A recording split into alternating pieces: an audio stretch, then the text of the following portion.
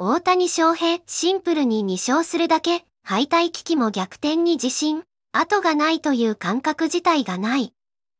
ドジャース、大谷翔平投手は8日、日本時間9日、敵地で行われたパドレスとの地区シリーズ第3戦に1番指名打者で先発出場し、4打数1安打だった。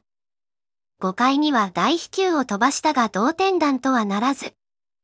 試合は5対6で敗れ、パドレスにシリーズ王手をかけられた。試合後の取材に応じた大谷は、シンプルに2勝するということだけを考える。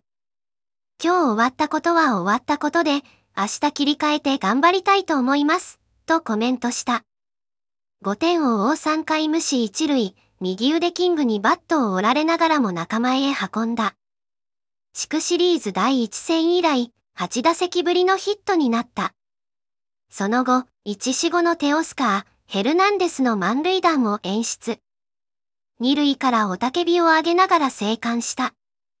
だが、あと1点が遠かった。5回戦闘で左中間後方へ大飛球を打ち上げたな、中堅、メリルがキャッチ。MLB 公式サイトのデータサイト、ベースボール、サバントによると、本拠地ドジャースタジアムなら入っていた幻のアーチだった。8回には左腕タナー、スコットと対戦。しかし見逃し三振に倒れ、反撃とはならなかった。今シリーズではスコットに3打数無安打に封じられ、もちろん素晴らしい投手ではあるので、こちら側がしっかりしたアプローチ、しっかりした状態で打席に立つことが一番大事と、次の対戦機会に闘志を燃やした。スタメン発表、打席中を通して大谷は容赦ないブーイングが浴びせられた。そしてビートラ。ドジャースタオセフの大合唱。黄色のタオルがペトコパークを踊った。威圧的な空気ではあったものの大谷は盛り上がってて素晴らしかった。ポストシーズンだなと。ドジャースタジアムもそうですけど、と、7年目で初の大舞台を噛み締めた様子だった。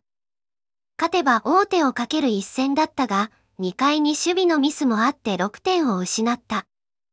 しかしヘルナンデスの満塁弾などで追い上げた。シリーズは1勝2敗と追い込まれたが、大谷は、今日も劣勢からあそこまで追い上げましたし、そこは自信を持っていいチームの雰囲気はいいんじゃないかなと思いますね。